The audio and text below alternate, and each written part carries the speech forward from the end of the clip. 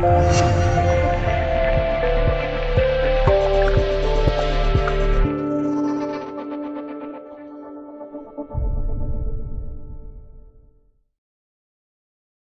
国最近真没闲着，不仅对我国提高关税，还禁止其他国家购买伊朗石油，并且扭头找借口制裁俄罗斯。现在又把毒手伸向了土耳其。特朗普政府把对土耳其的钢铝关税提高一倍。其实，美国和土耳其的关系在今年六月就已经出现了裂痕。美国对土耳其加征钢铝关税，土耳其这个血性民族怎么能忍下这口气？于是，当时迅速决定对部分美国商品也加征报复性关税。到了最近，美国牧师布伦芬涉嫌在土耳其从事间谍活动，被土耳其警方抓了。因为拒绝释放牧师，所以美国大怒，决定把对土耳其钢铁和铝产品加征的关税分别提高至百分之五十和百分之二十。这直接导致上周里拉对美元的汇率一天之内暴跌了百分之十八。而美国和土耳其这对北约盟友的关系也像里拉一样一泻千里。那么，土耳其眼看要完，不就在土耳其经济陷入危机之时，救世主来了。卡塔尔王国承诺向其投资一百五十亿美元。就在卡塔尔埃米尔国王的意思，阿雷萨尼对土耳其总统埃尔多安做出投资承诺之后，里拉马上疯涨百分之六。最大速度的降低了美国制裁的负面影响。事实上，面对特朗普的施压，土耳其总统埃尔多安早就准备好了三板斧来对付：第一，迅速回击美国的蓄意攻击；你提高我的关税，好，那我比你更狠。据路透社报道，埃尔多安十五日签署总统令，宣布将美国乘用车、烟草等二十二种产品的关税也提高一倍，其中乘用车。百分之一百二十，酒精饮料、烟草百分之六十。此外，化妆品、大米、煤炭等关税也通通翻倍。不仅如此，他公开呼吁土耳其人团结一致，抵制美国的苹果手机。我们将抵制美国的电子产品。如果美国有苹果手机，其他地方就可以有三星手机。我们还有维纳斯手机和维斯特尔手机。此外，埃尔多安还呼吁土耳其公民抛售外币，以支持里拉。如果你的枕头下藏有欧元、美元和黄金，请立即到银行换成里拉。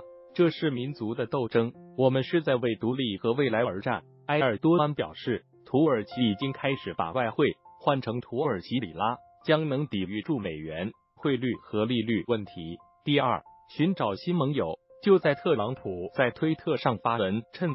已授权对土耳其双倍加征钢铝关税后不久，埃尔多安就马上和俄罗斯总统普京通了电话。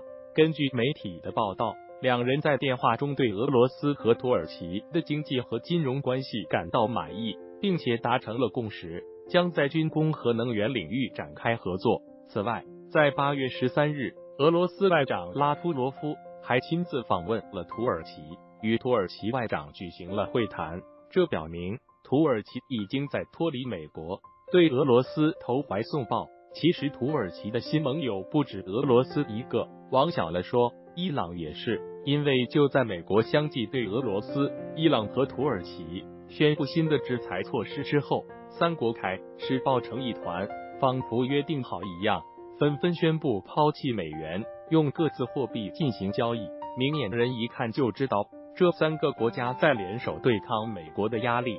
第三，找到大靠山，这个大靠山就是前面说到的卡塔尔王国。要知道，虽然土耳其与俄罗斯现在是哥俩好，但是俄罗斯穷啊，他的经济上根本帮不上忙。就说二零零二年至二零一六年间吧，土耳其只有百分之六的投资是来自俄罗斯的。那么卡塔尔为什么在关键时刻愿意伸出援手？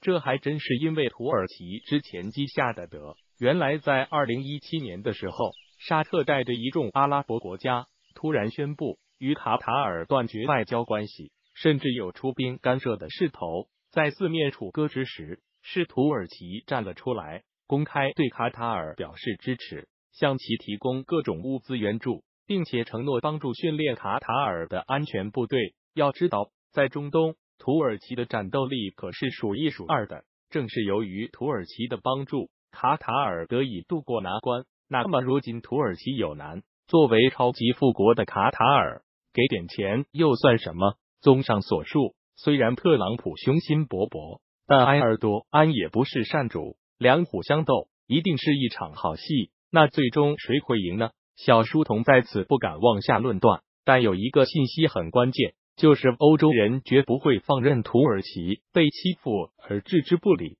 倒不是因为欧洲国家跟土耳其的关系有多好，而是土耳其如果垮掉，美国更无法无天不说。光是土耳其的难民，届时就会浩浩荡荡涌向欧洲，这岂不是欧洲最大的噩梦？责任编辑。